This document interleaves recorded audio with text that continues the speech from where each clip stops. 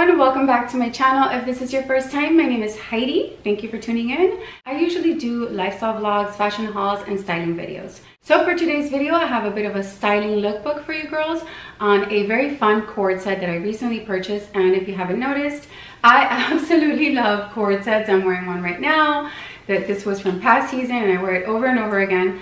So I love co-ord sets because I really feel that they are very, very versatile. You can just wear them endless ways and it's something that is just so much fun to add to your wardrobe. So for this lookbook, I chose this beautiful co-ord set that I recently purchased at Express. And it's this beautiful cobalt blue blazer with the matching trousers. And um, yeah, I first saw this in green, which I thought about it twice because I didn't know how I felt about the green. But once I went into the store and I saw the blue one, this beautiful cobalt blue one, bag it up for me. I was sold immediately because I just knew that I could just style it in so many ways and it would be a great complement to my wardrobe. So if you're the type of girl that kind of likes um, more of their neutrals and stuff like that, not a problem. I am. I, I am like that. I love neutrals. To me, neutrals are classics. They're just beautiful for any closet, especially if you're building your wardrobe. But adding a little bit of color is so much fun and it kind of breaks up the boredom of a wardrobe. I mean, let's be real. Most of us do get bored with the same things over and over again.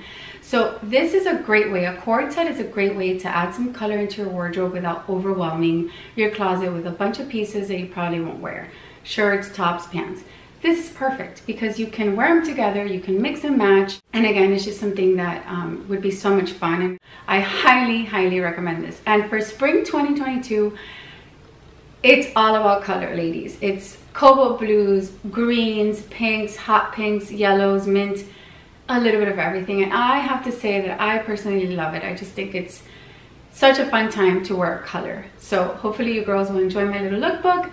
I will go ahead and link this suit down below. Towards the end of the video, I will chit chat very quickly on sizing because I do find that that would be very, very helpful. But before we do that, don't forget to hit that subscribe button. I would love for you to join my small family and let's get right to the lookbook.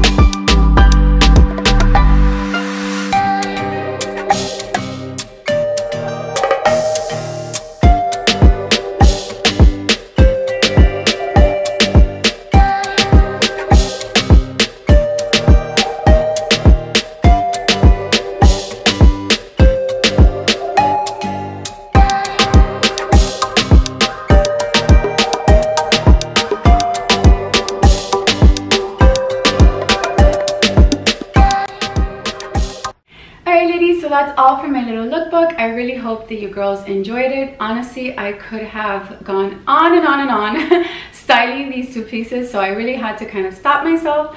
Otherwise, this video would have been very, very long. But before I let you girls go, I kind of wanted to briefly talk about sizing. But the first thing that I want to mention is don't be afraid to go outside of your normal number, your normal size. Um, I know a lot of women that are afraid to do that, and honestly, it's it's okay because really sizing depends on the brand, and even within the brand, they have different ranges. So I want to say this um, so basically for this particular suit, I got the blazer in an extra small and I feel that it fit the way that I wanted it to fit because I really wanted a very um, fitted, structured look. So I went for the extra small. But for the pants, I did grab the small, which very normally I'm a small in many places. Sometimes I'm an extra small, but small is a comfortable place for me. I'm like, it's gonna fit me regardless. So I grabbed the small. Now, I very quickly noticed once I got home that this small runs on the larger end. So basically for reference, I will be using the size small, but you can apply this idea to any size, medium, large, extra large, it really doesn't matter.